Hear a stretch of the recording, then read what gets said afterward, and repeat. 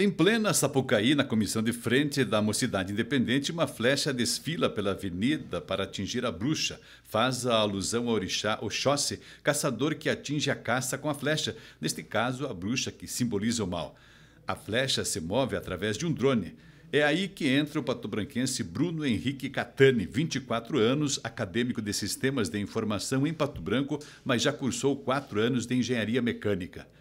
Ele volta na história foi na Invento de 2019 que ele se envolveu com o tema, para hoje ser piloto de drones. Conheci esse pessoal durante a Invento, que a gente teve, teve corrida de drones na Invento, e eu comecei a correr, a gente fez uma amizade, e no meio dessa amizade, durante a pandemia, a gente começou a conversar, e as habilidades específicas se juntaram, e daí foi em julho do ano passado, eu comecei a trabalhar com eles, e esse projeto comecei com eles em dezembro. 3, 2, 1, foi!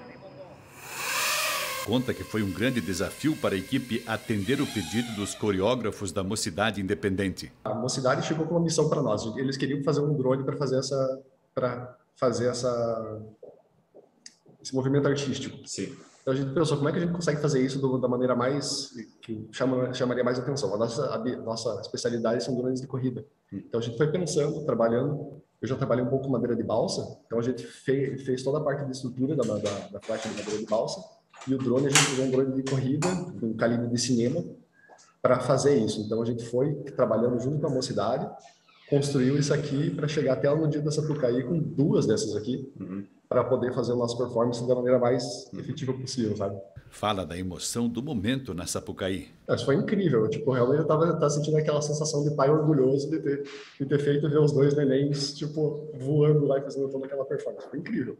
A sensação de estar passando pela Sapucaí vendo tudo funcionando, todos aqueles carros alegóricos enormes, e a gente fazendo a nossa performance no meio foi tipo uma sensação inesquecível. Bruno diz que esse é seu mundo, a sua profissão em definitivo. Eu sou piloto profissional de drones, eu faço então não só a parte de filmagens e voo, e na parte de construção. A minha, a minha especialidade realmente é a construção e a parte que eu mais gosto. Então eu, eu quero crescer e começar a produzir esses aqui muito mais em quantidade, projetos maiores. Como especialista em drones, como fica o futuro, Bruno? O futuro é imenso. Agora estou começando a produzir drones para carregar pessoas mesmo.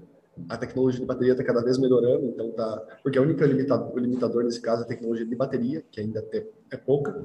Então, todos os carros no futuro provavelmente vão ser voadores, sejam drones com hélices ou com uma tecnologia que está para ser inventada ainda.